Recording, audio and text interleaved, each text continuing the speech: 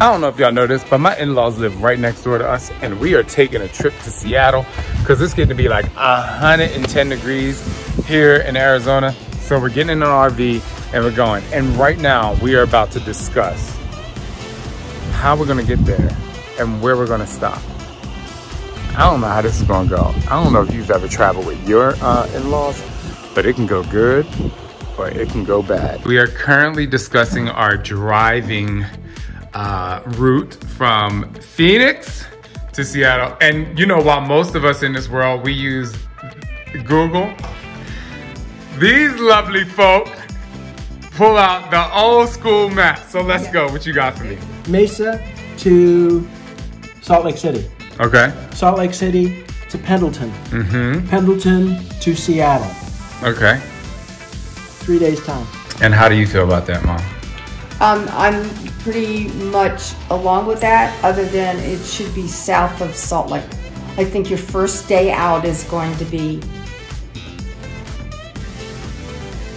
educational. Now here's the thing. I've never been, I've been in their RV once, but I've never done this whole situation. I've never You'll slept in a little cramped campground with RVs with other people within. How close are the other people? Uh, they're depends. They're the, the, the sites are probably 20 feet wide. Ladies and gentlemen, there it is. The Cruise America RV that me and the fam will be taking to Seattle. Hmm. Who's that handsome young fella? Oh, it's your favorite Shaun T.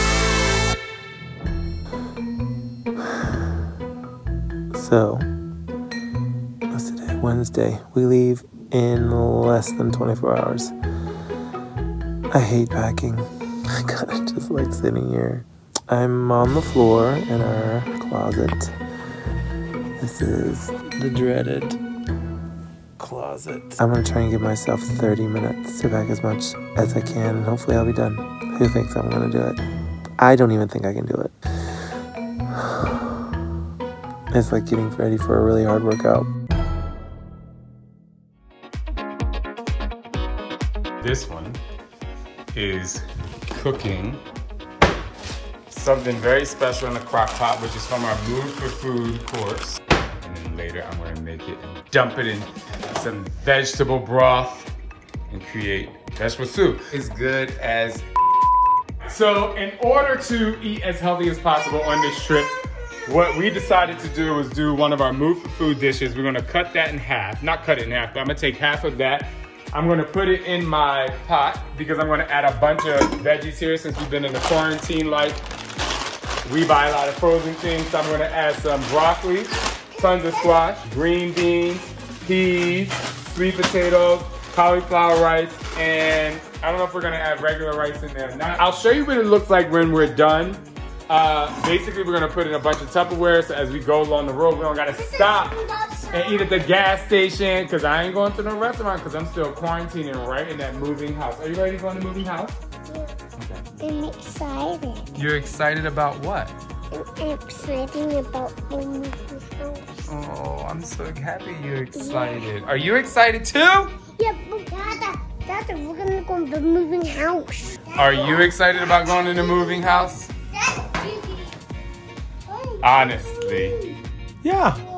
We'll see how it goes. I mean, it's another adventure. What are you guys looking at? Are you gonna um moving house And Sander, where are we going to in the moving house? to Seattle? Are you guys excited? Yeah. What are you doing? How about you You know that's Dada's toothbrush. We have to pack that when we go to Seattle. our suitcases. Yeah, I'm packing your suitcase because everyone needs clothes when we get into the moving house. We're gonna travel up north to Seattle. Well, as you can see, the family is pretty excited. I do have to repack this suitcase though. But in just a couple of days, we will be leaving. So stay tuned for this adventure. It's gonna be super fun, super exciting, and who knows what's gonna happen along the way, except for the TikToks that I'm gonna make my family do. And traveling with toddlers is gonna be a nightmare.